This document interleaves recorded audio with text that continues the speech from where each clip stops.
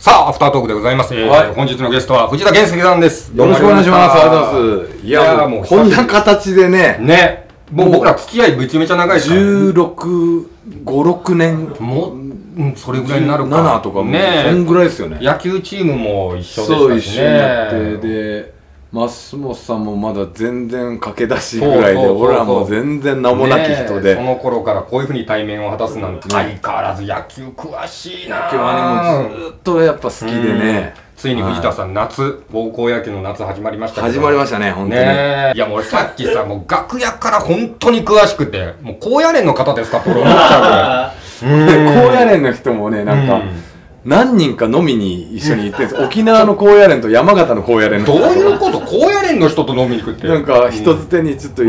飲み行きましょうみたいなって飲む機会ないじゃないですか高野連の人。カチ割り飲んでるのかと思う。よ。なんでしょおもろいから行こうって言って面白いね。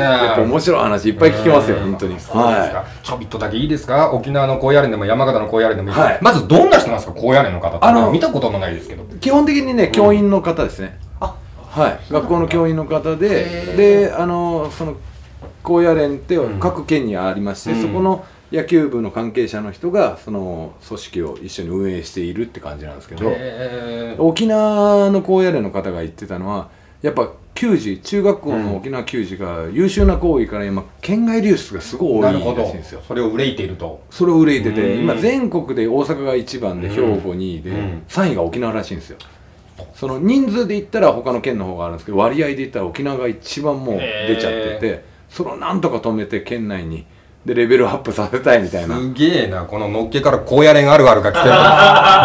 高野連あるあるって相当な人知らないと思うよ。すごいね。今度山形は山形であの地区の差が激しいとはい。山形地区はもう中央がレベルが上がるけど僕が飲んだ人はその沖多摩地区ってちょっと米沢の方なんですけどこの地区のレベル差が激しいからこれを均一にしたいみたいなことを考えてで、広島もね、もちろんテレビもやられてるから、広島の高校野球にも高野連にも僕ちょっと、すごく詳しくて。そうですねいや、この人ね、俺驚いたんですけど、僕会やってたんですよ、テレビの。すると、藤田からこうメールが来て、メール見たら、僕が大尊敬する広島のかん、元広島の監督、女水管の監督と、こう、こうやって撮ってたんですよ。これですよ。迫田監督で。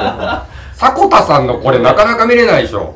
そんな写真とか送ってくるから、どんだけ詳しいんだよっていう。いやもう伝説の迫田さんに会えたっていう。嬉しくいやいやいてやいや。で僕レギュラーが地方にちょこちょこありましてやっぱ出身の静岡の結果。